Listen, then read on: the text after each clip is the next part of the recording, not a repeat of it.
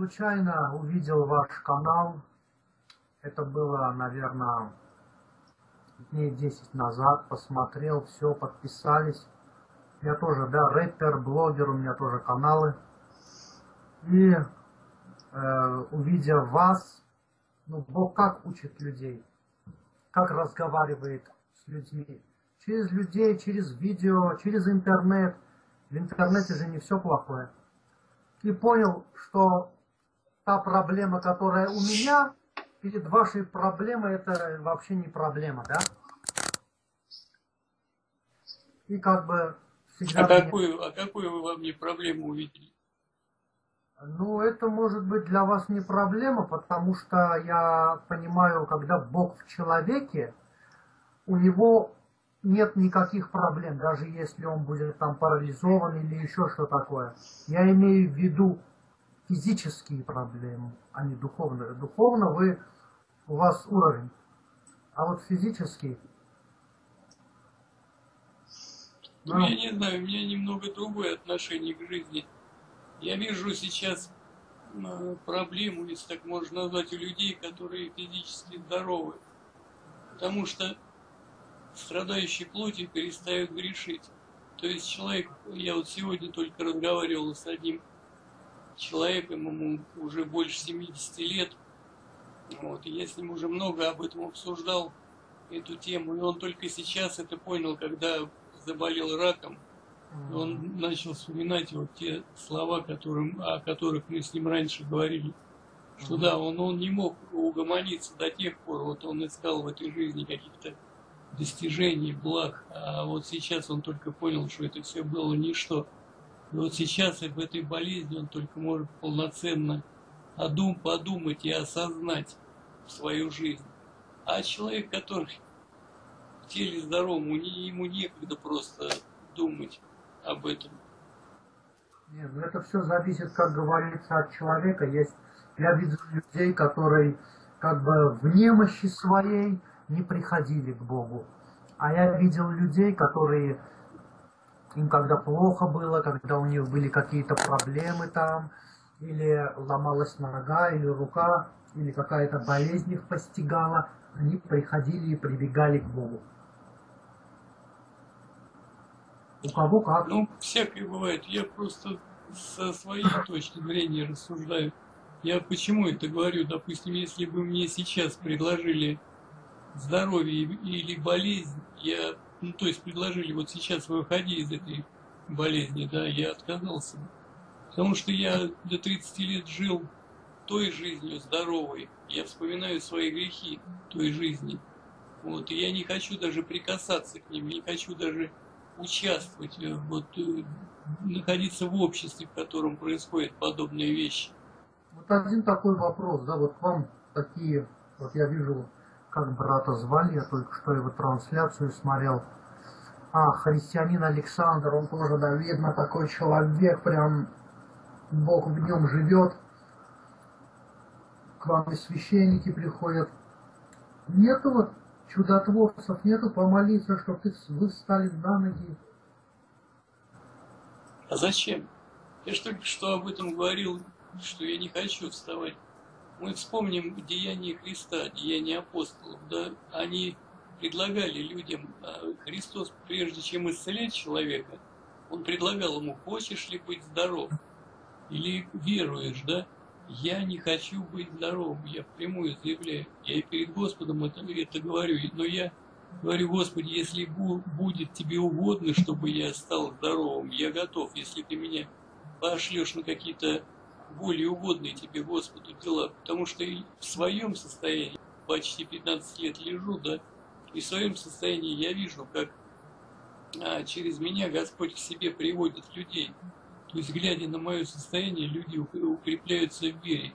Тем самым я служу Ему. Вот. И других путей не ищу. Я вижу, что этот путь угоден Господу.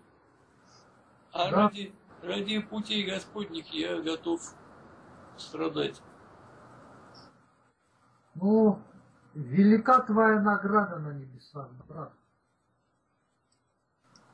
Ты этим, значит, великую награду... Ну, ради, ради награды, что ж тут э, стесняться, мы все, ну, как говорится, стремимся к жизни вечной, э, к вечным радостям, да, блаженствам.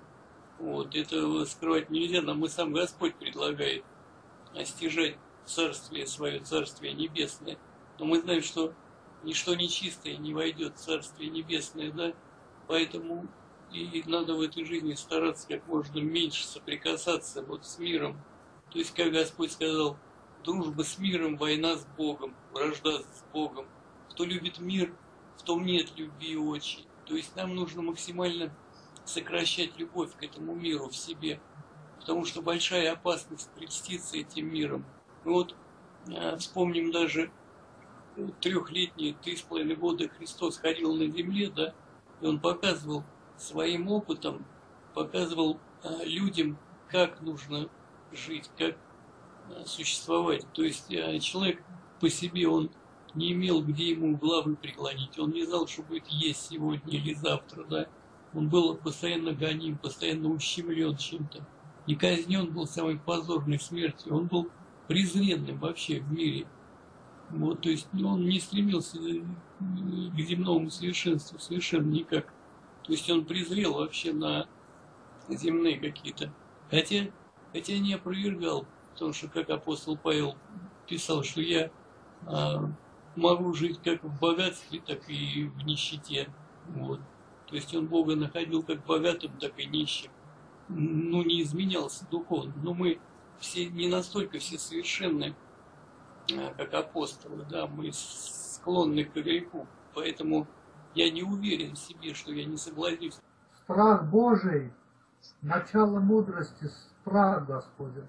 Вот Бог и вселил в тебе страх Господень есть. Страх Господень не позволяет человеку грешить и остерегает греха. Страх Господень, конечно, в первую очередь, вот раньше, во все времена, ну, по крайней мере, еще лет 50-70 назад в детях, а родители в первую очередь воспитывали страх Божий, они вот постоянно э, как остерегали ребенка, смотри, не делай этого, Бог накажет.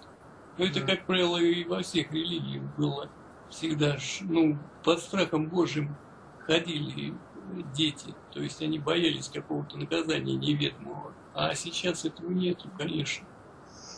Поэтому сейчас и а, для человека вообще по сути смеш, смешалось а, понимание греха и, и праведности. То есть, а, что опять же говорит Евангелие, что, что нас искушает похоть плоти, похоть очей и гордость житейская.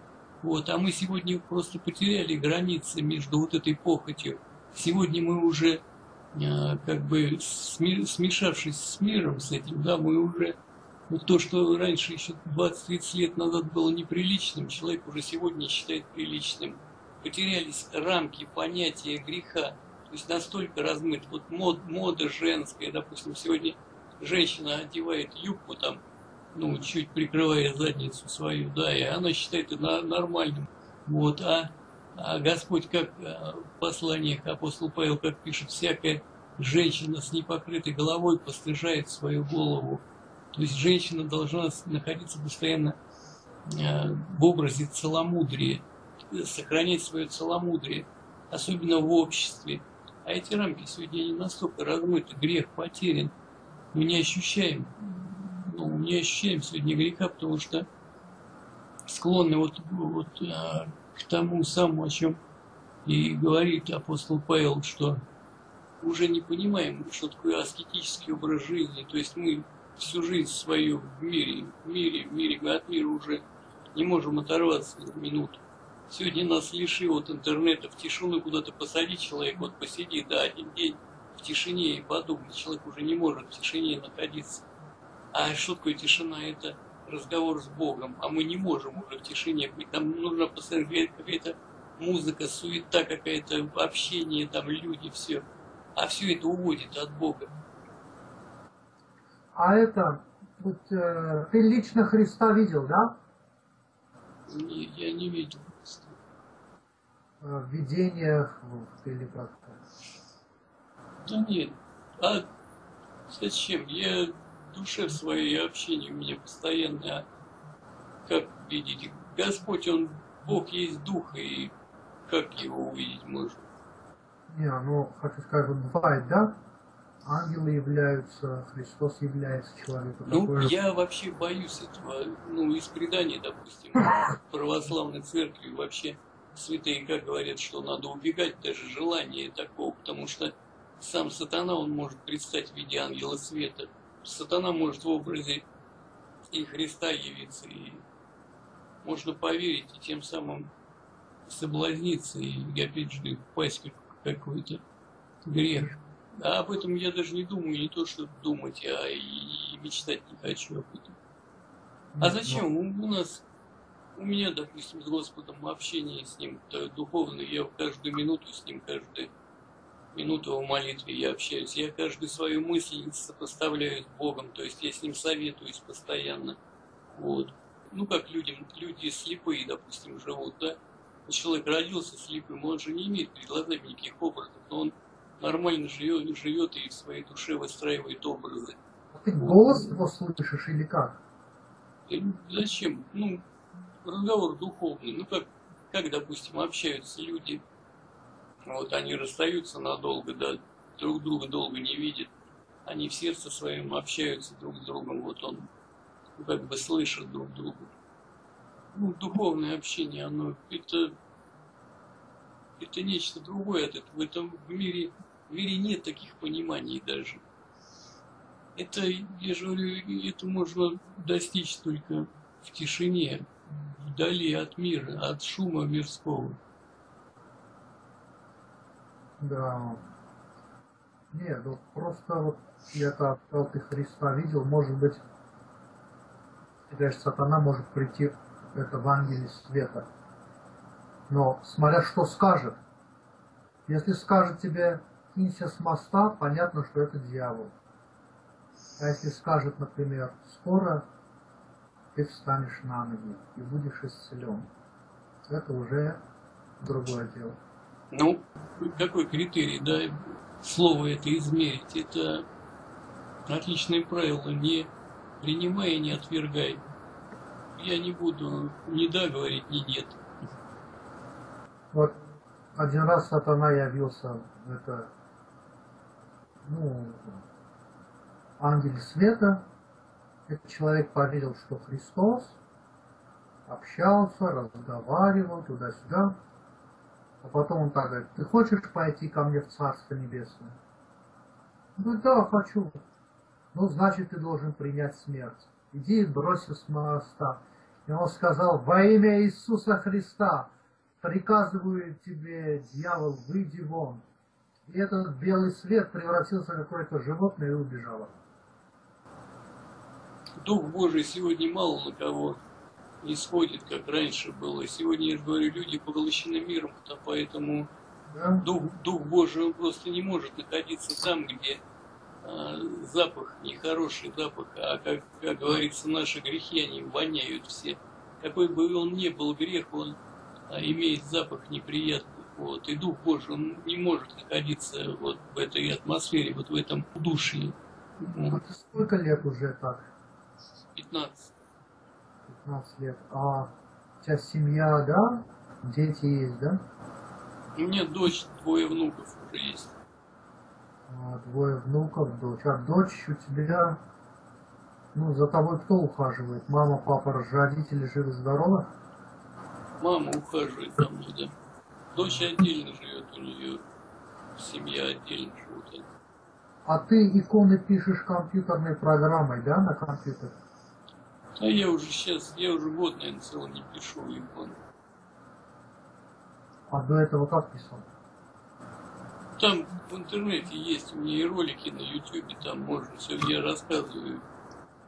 Не, ну я посмотрел пару видео, как ты человеку подарил икону, он пошел в церковь, это посмотрел. Потом, как у тебя это все произошло. Я, кстати, вот, смотри, что сделал я поставил твой канал и еще мой канал, который называется «Приколы от Макса». Ну и юмор там и все такое. Ну, чтобы люди, которые заходили и слушали мои песни, Я твой поставил наверх, парализован во имя Христа. Я понял, благодарю. Да, нет проблем, слава Богу. А тебе как, как зовут тебя? Меня зовут Аркадий, а Макс, Белый Макс, это мой псевдоним. А что он, что он значит? Белый Макс, почему белый? Белый цвет, он говорит о чистоте. Говорит о чистоте, а Макс, ну, я так себе придумал, ну, как бы максимальная скорость, да? То есть я люблю скорость, быстро, чтобы все было так, как бы так, да? У меня есть один духовный клип, я тоже человек верующий, уже 20 лет и больше. И я сделал духовную песню с клипом «Встреча со Христом».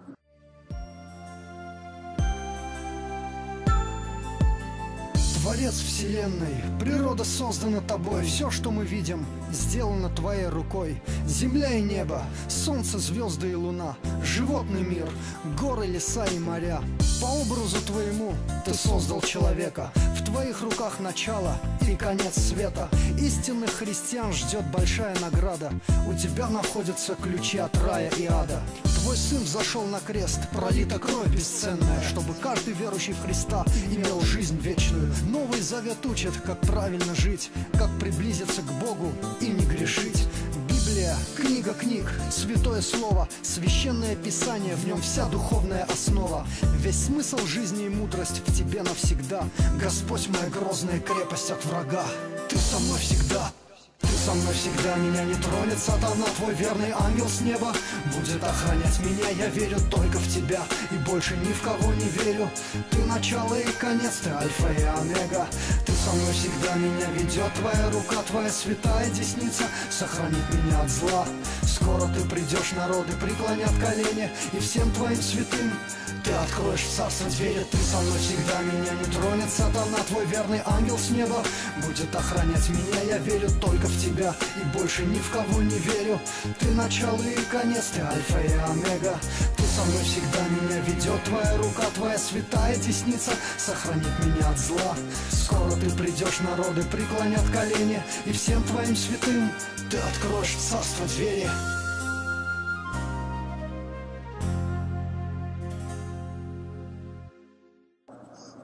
Ну, неплохо, мне понравилось.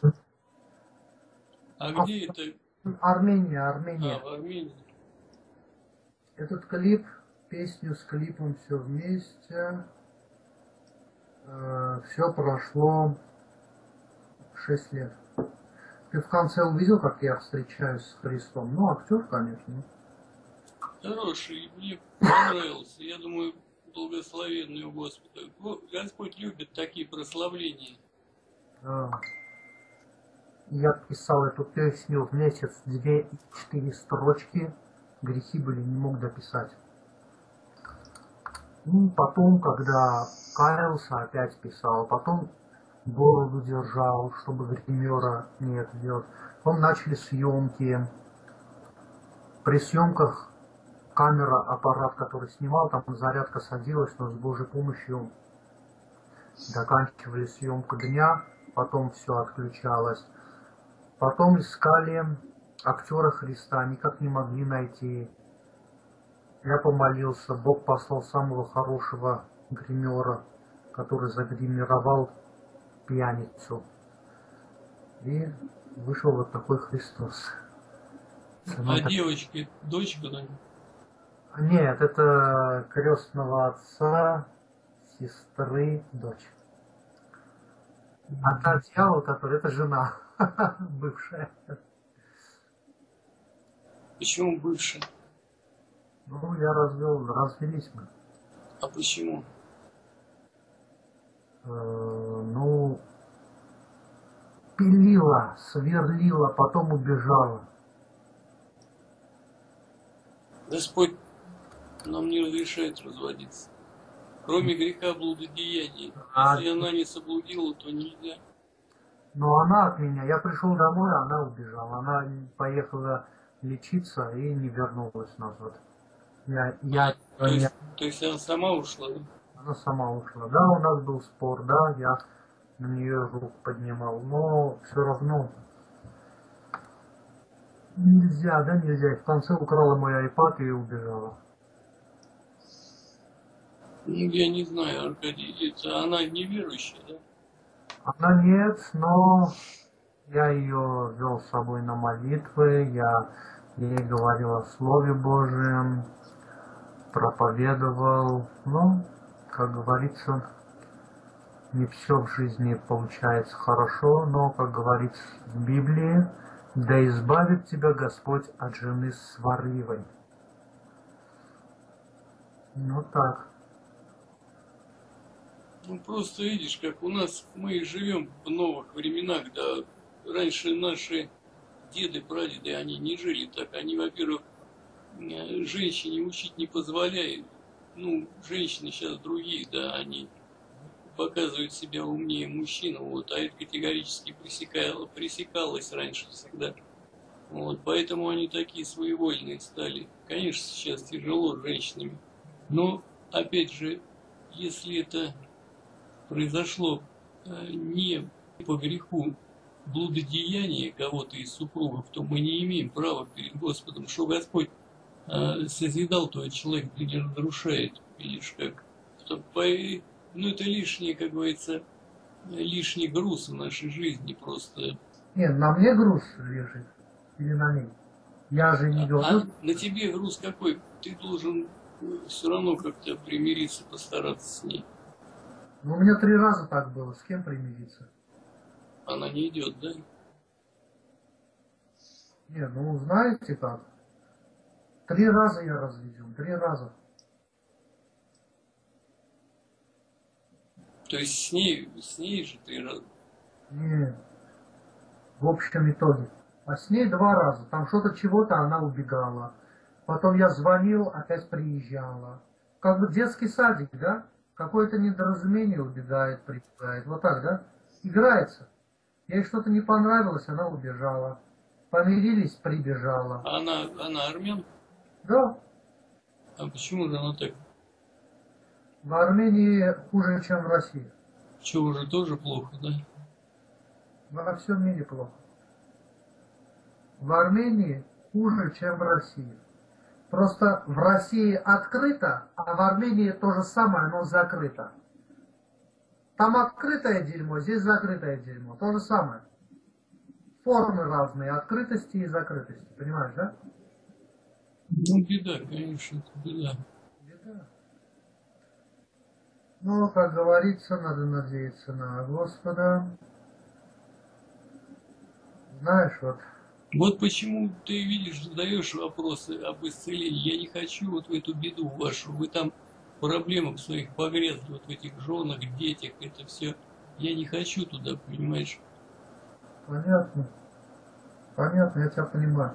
Вот этот клип, который мы снимали, значит, я клип снял, а там же идет затмение, а потом кадры Христа, правильно? один оператор смотрит, говорит, вот ты столько убегаешь от дьявола, а, а концовка какая? А в конце сделали, что ты встречаешься с Христом. Я опять 40 дней держал бороду, чтобы мы сделали эту съемку. Этот клип был по Божьему благословлению. Там ангела Бог послал, место, где я мог ночью остаться. Мы ночью там развели костер. Потом я ночью остался в деревне. Опять поехали на это кладбище, чтобы я около этого костра как будто проснулся. Там же костер же должен это, ну, потухнуть и свет произойти, правильно? В общем, все по Божьему благословению так получилось. Божьей Слава Богу, нам, видишь, сейчас в мире стоит такая обстановка, нам надо как можно больше проповедей устраивать в любом ее проявлении. Надо сейчас, во-первых, молодежь, которая уже идет и не в том русле, да, вот ее надо как-то обращать и самим каяться. Нам сейчас главное до мировой этой войны не допустить. Ну не то, что не допустить, она будет в любом случае, но хотя бы оттянуть ее максимально. Да. Поэтому проповедь сейчас на первом месте покаяние, призывать людей к покаянию. Да, людей надо призывать к покаянию. Молиться за народы, да? Молиться в первую очередь, конечно, каждый день. Поминать надо не, не просто народы, а и, как апостол Павел говорит, молитесь за царей и начальствующих. Надо молиться за президентов, за управленцев городских всевозможных. Да. За них тоже надо молиться. Ну, я думаю, что вот эти цари, эту жестокость Бог почему им допустил? Если они не будут такими твердыми, жестокими, будут такими спокойными, прощительными, они не смогут руководить страной. Враги нападут. Вот, например, царь Давид. Царь всегда должен быть, э, он справедлив, он должен быть и честным в первую очередь. А то, что если кто-то нападает, он, конечно, должен быть воинственным в то же время. Да. Но главное справедливым. А царь дается по народу своему. Какой народ, такой и царь. Откуда же он найдется возьмется честный царь, если народ развращенный?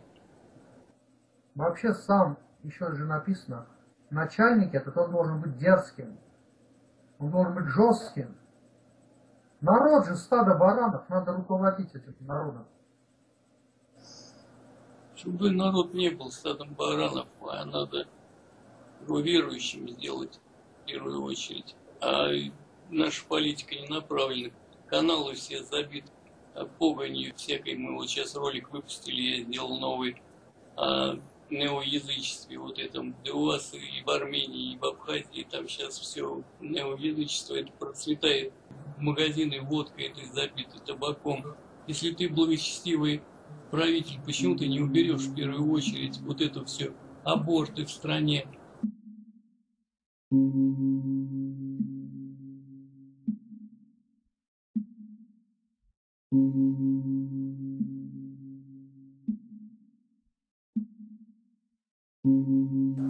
Какой тут на эту страну не может быть благословения, если столько детей убивают родители? За деньги, да. А, а проплачивает все это а, государство, эти же аборты, они делаются за счет а, государства, вот, а, за счет казны, а в казну платят ну, процент от заработных плат людей идет. Понимаешь, как? То есть сами люди тогда становятся участниками этих самых убийств детей. Ну, проклято, все, вся страна проклята. Конечно, как на эту страну война.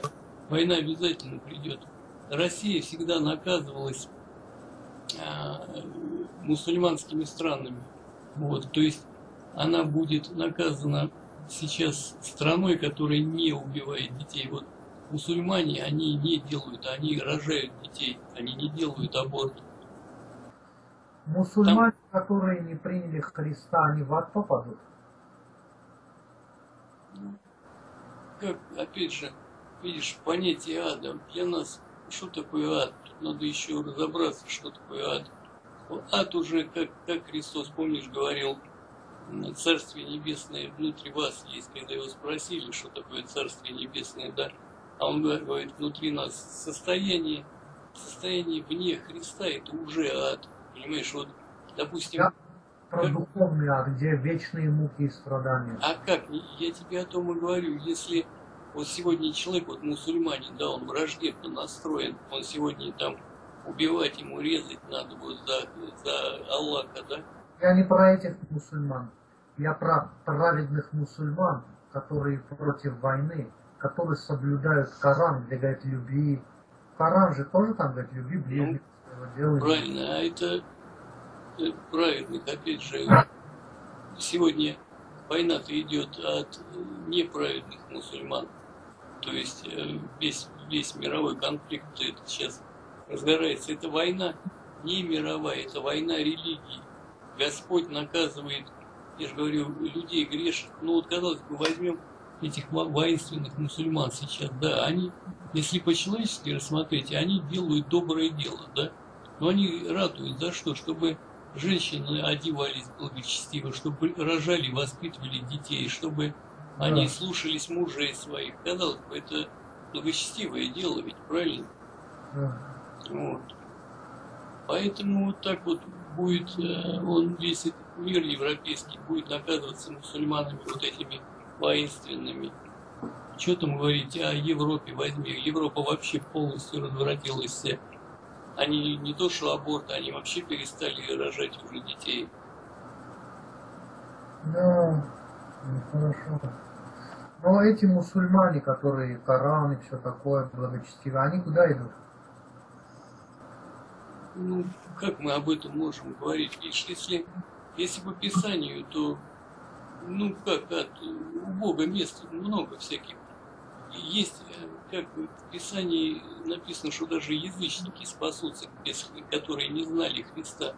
Понимаешь, есть мусульмане, которые о Христе ничего не знают совершенно. Конечно, на них и суд другой будет. Вот, они будут судиться по их совести. Да, вот, вот это я хотел от тебя слышать. Я хотел понять, ты как ответишь? Есть люди, которые всю жизнь не знали Христа. Бог их будет судить по делам их сколько он делал добра, как он любил ближнего своего, сколько дел грязных дел. Все поставит на весы. Конечно. Божья милость, милость, она велика. Есть человек, призывал имя дьявола, и явился Иисус Христос, помиловал его, простил, но он был колдуном, который хотел прийти к Богу. Пришел к Богу, а его духовные братья, ну, как, грубо говоря, послали – и он пошел призывать дьявола, чтобы на них порчу наготовить, всякое колдовство, чтобы они умерли. И в это время явился Христос ему. Павел Беловолов мне рассказывал про свою жизнь, он был колдуном. Он такие порчи наводил, люди умирали. Он был колдуном высокого ранга. Ну и он, он покаялся. Господь Покаялся, Бог всех прощает, кто покается и придет к Нему. Призывающий Его имя не отвергает никогда. Он покаялся, Бог явился ему. Я в интернете даже это покаяние колдуна видел. Ну, это американский колдун был. А, я видел этот ролик, да. Сатанист был. Сатанист. Сатани... Он сатанист, да, ярый. Да. Это редкость большая, чтобы колдуны вот так каялись. Вот колдун, если человек, если попадает в лапы сатаны, то оттуда уже не вырваться. Колдовство самый страшный грех. Колдовство это смертный грех. В колдовстве сегодня весь мир окутан просто. Мы человек не понимает, он кажется ему безобидным, всякие приметы, там, знаешь, вот эти всякие там, ну как у нас заведено, там подковки на счастье, всякие, знаешь, фэн-шуй, вот эти все дела. Человек кажется, что это ад, ерунда какая, а по сути-то это дела колдовские, это договор с дьяволом. Я всегда, когда вижу где-то подкову, я говорю, снимите. Да нет, она приносит счастье, деньги. Я говорю, эту подкову надо себе на ногу набить и пахать как лошадь. Вот тогда деньги придут. А ты повесил ее, блин, у себя на доме, и один человек 35 лет не может жениться. Я ему говорю, сними подкову. Снял подкову, весной женился. А в магазине у него была это вот глазки такие есть. Я говорю, выкини. Да, мне тоже говорили. Я говорю, выкини, сегодня с тобой произойдет чудо. Он взял, выкинул. 15 тысяч рублей долг. Ну, это армянские 15 тысяч, где-то 30 долларов. Вернули. Вернули долг. Я говорю, есть у тебя еще дома такие? Да, говорит, подкова. Я говорю, сними, женишься. В этом мире, кроме Христа, человека не можешь ничего заботить больше. А и все наши мысли должны быть направлены только к Христу. Все остальное нас уводит от Бога. А если мы не, не становимся, уходим с пути его, мы обязательно попадаем на путь Антихриста, на путь сатаны. В жизни две дороги есть. Путь к Богу и путь к дьяволу, путь в ад и путь в рай. Да. А, а все эти состояния, они в нашем сердце. Постоянно, каждую минуту сверять свое сердце, в каком ты духе находишься, в духе добра или в духе зла. Все настолько просто.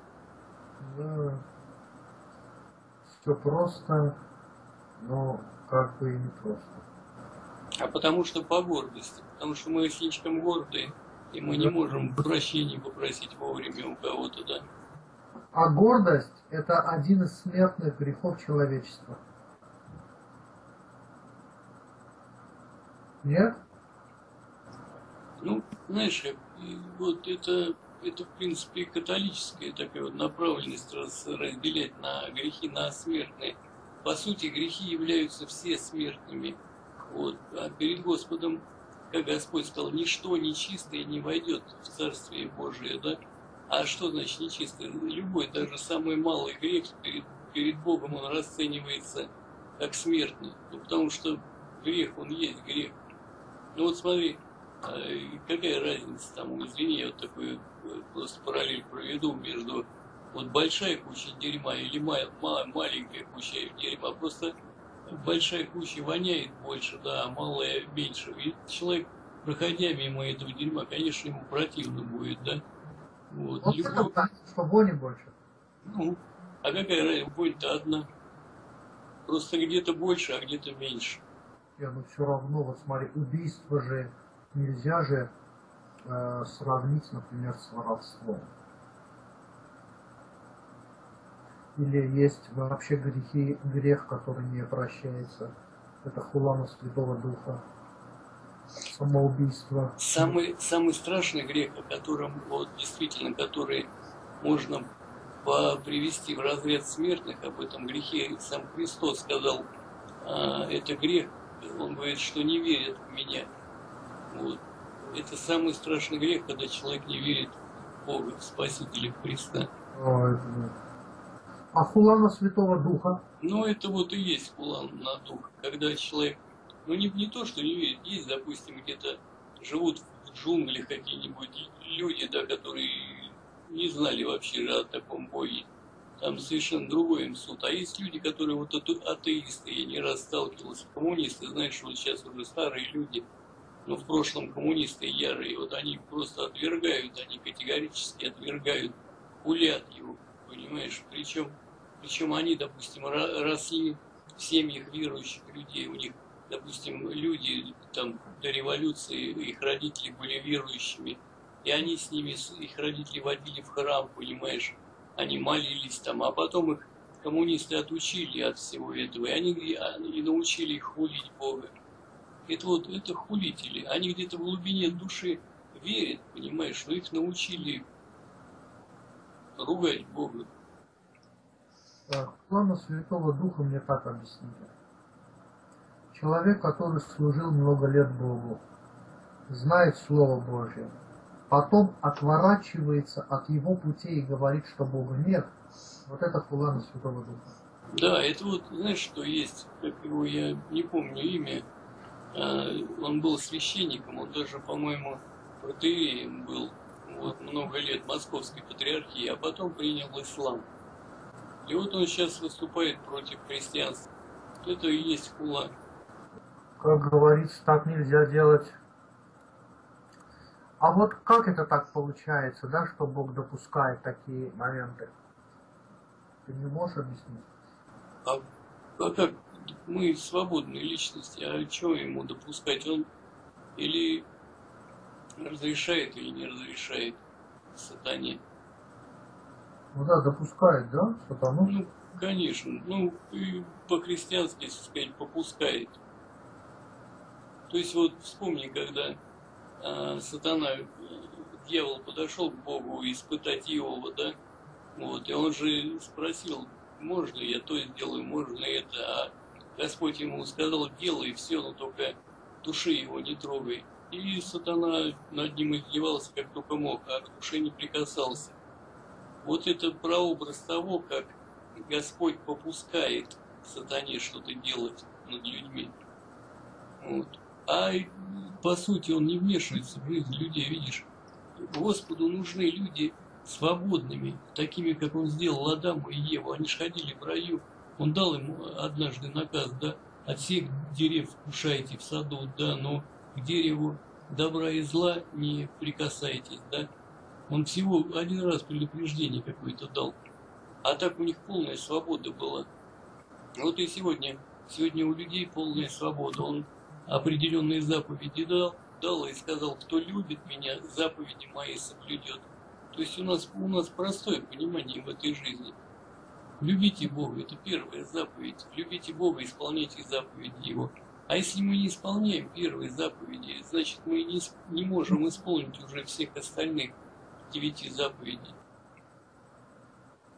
И самую высшую заповедь задаю вам, как-то высшую или возлюби Господа Бога своего всем сердцем своим.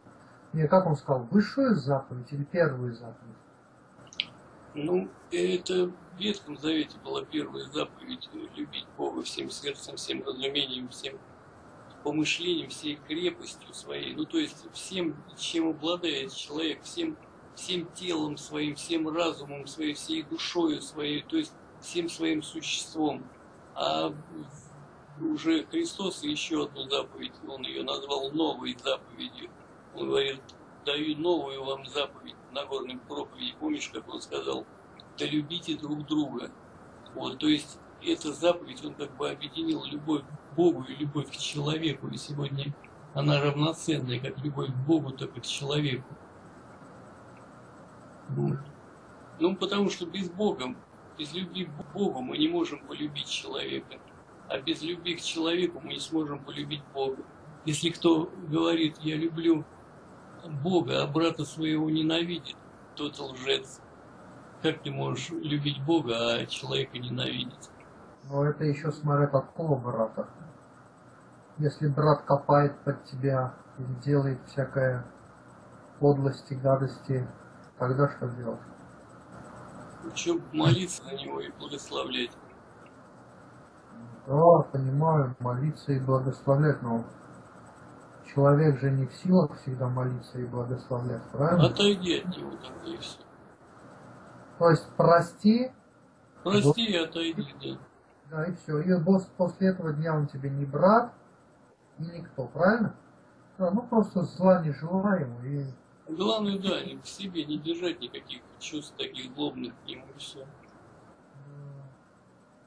Потому что это эти мысли, то, что ты не простишь там, или еще что-то, чего, могут нагнетать всякие бесовские силы. Они разрушают в тебе твой мир с Богом, твой, а твое общение с Богом. С такими мыслями ты не, не сможешь общаться с Господом. Да. Поэтому, что бы ни случилось, всегда надо смотреть на Бога, надо молиться, и все будет хорошо. Да, а чего нас отучили? Надо найти, услышать Бога и постоянно держать с ним контакт. То да. есть, знаешь, в сотовом телефоне бывает вот в таких местах плохо доступно. Контакт есть и контакта нет. Да, вот, вот надо, чтобы постоянный контакт был, чтобы связь не прерывалась. А чтобы была эта связь, постоянно надо не грешить, надо постоянно находиться, то есть постоянно сверять свои чувствования. Как в Библии, в Евангелии говорит, Э, иметь те же чувствования, как во Христе Иисусе. То есть любое дело мы должны сопоставлять с тем, что сделал бы Христос, да? Вот ты хочешь сделать какой-то шаг в жизни, а потом думай так, а на моем месте что Христос бы делал, как он поступил?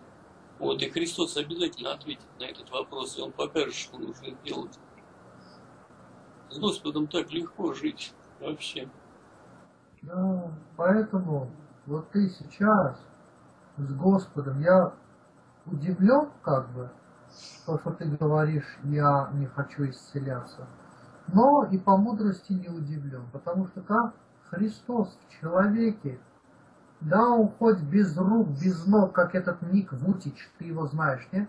Ну да, я видел. Да, улыбается, радостный. Аллилуйя! Бог в нем. Ну, а как как не радоваться, если мы знаем, что скоро все кончится и будет вечность. А это что ты скажешь насчет Папы Римского? Ну, знаешь, как я не хочу давать оценок никому. Я еще недавно как-то тоже и в интернете эти темы муссировали. Я что-то прихожу к тому, что чем мы, кто мы такие, чтобы кого-то оценивать, да, пускай они, пусть, как опять же, что нам Слово Божие говорит, пусть э, зло еще делает злые дела, добрые пусть делает добрые дела, вот. над нами, над всеми Господь, Он будет нас судить и решать все вопросы. А мы кто такие, чтобы там кому-то оценки давать? Кто знает сердца человеческие, да? Он Господь один сердцеведец. То есть мы не имеем права давать оценки.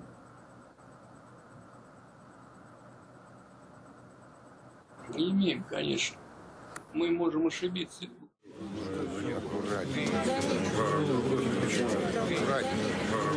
С котами нельзя. Я извиняюсь, вы сказали с котами? А где вы видели кота? У, у нас только на валюту. Дорогой мой, а откуда вы знаете, что у меня ее нет? Вы судите по костюму. Никогда не надо этого делать, драгоценнейший страж. Вы можете ошибиться, и при том весьма крупно. У меня может быть полный примус валюты. А почему Бог сказал, благословляйте проклинающих вас? Ну, потому что проклинающие нам, они, во первую очередь, собирают себе горящие угли на голову, вот, а во-вторых, они нас делают крепче. Как, как есть пословица еще, в миру, знаешь, как, что не убивает нас, то делает нас сильнее. Если мы не отвечаем злом на зло, мы укрепляемся и возрастаем в вере, мы становимся тверже. Понимаешь? А если мы, он нас проклинает, а мы в ответ ему проклинаем, мы умножаем зло и сами по себе становимся слабее в духе. Вот смотри, правильно. Теперь как мне Бог открыл. Когда Он тебя проклинает, ты его благословляешь, ты будешь пожинать то, что ты посеял, а Он будет пожинать Он посеял. Ну, это Евангелие говорит, что он собирает себе угли на голову. Он тебя проклинает, а сам будет потом гореть от этих углей. А еще на огонь наливают воду, а не бензин. Ладно, Аркадий, я рад был Я познакомиться. тоже, брат, за меня помолишься, да? Чтобы Бог Помолюсь. послал жену, ладно? Хорошо, помолюсь. Твои благ, все, Все с Богом. С Богом, брат.